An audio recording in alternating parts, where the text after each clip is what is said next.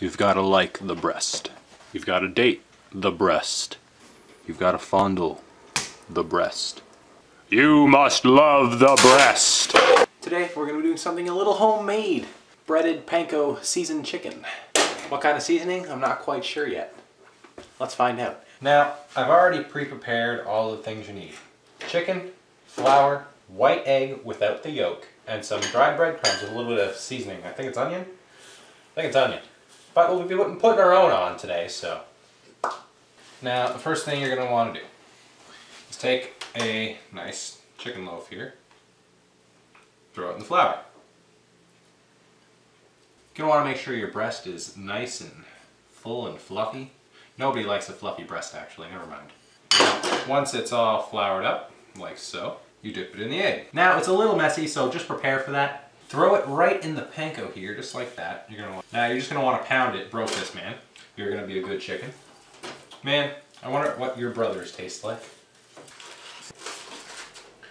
Just sprinkle the rest of the panko right on top. Let that sit in.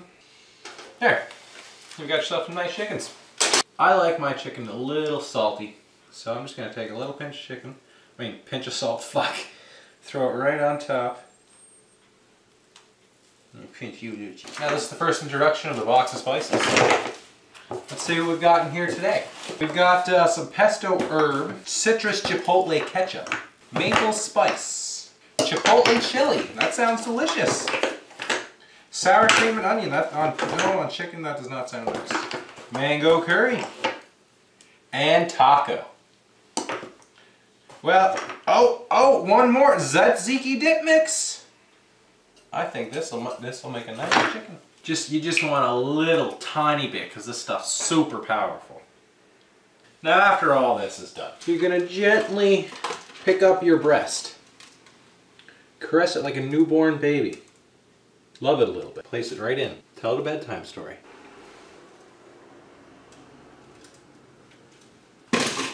And of course, you can't forget the butter. You're gonna put a little bit of butter right on top. Let that sink right in. Let it get nice and crispy. Now it's gonna absorb into the bread. So the bread, of course, will be a little greasy, but hopefully during the cooking process, I don't know, it might evaporate or like melt off or something like that. I'm going to take a whole onion, take one quarter of a piece at a time, just place it right in with the chicken.